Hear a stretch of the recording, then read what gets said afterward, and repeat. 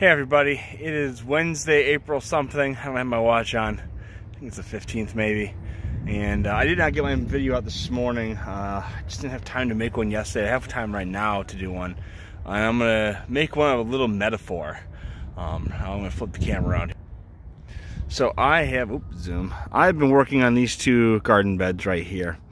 And right there is a giant giant rock. And this thing was buried just below the surface in the far bed over there. And and it was an absolute bear to get out.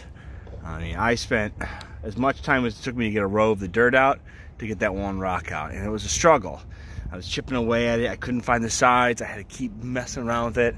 And lo and behold, by the time I got it out, I realized just how massive an undertaking it was. I thought it was just a little stone, just like something like like one of these right here. Just little rock when I started and then it ended up being something so much larger. And right now, I feel like we're all kind of chipping away at a stone. We don't know if it's going to be one that's over in a few weeks, if it's going to be over in a few months, or what that might look like. But what we have to keep doing is just chipping away at it. Sorry, I want to flip that around. So, Mike, it's my daughter's playing in the background. As we're chipping away at the stone, have a child's attitude. Be like my daughter and celebrate and have fun with it. Keep enduring and fighting for it. And above all, know that all things have to come to an end. And this hardship has an end point.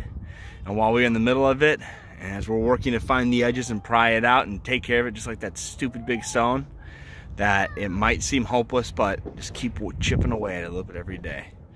Know that I care about you. I miss you all. I cannot wait to see you soon. As always, go Bucks.